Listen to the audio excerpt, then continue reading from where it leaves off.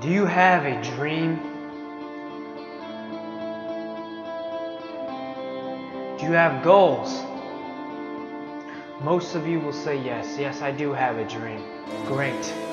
I want you right now to affirm to yourself, silently in your head, or look yourself in the mirror right now, and I want you to tell yourself that your dream is possible.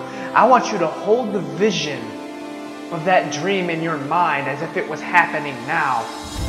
And affirm to yourself that it's possible and it will happen. No matter your situation, no matter your circumstance, no matter where you are right now, this does not matter.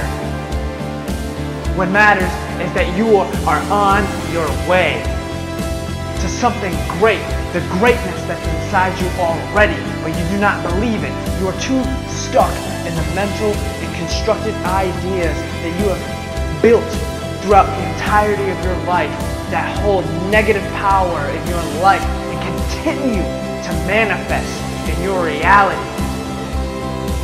It's time to take back your power.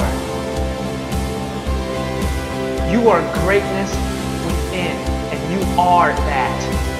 You are already beautiful, you are already amazing, but you do not believe it.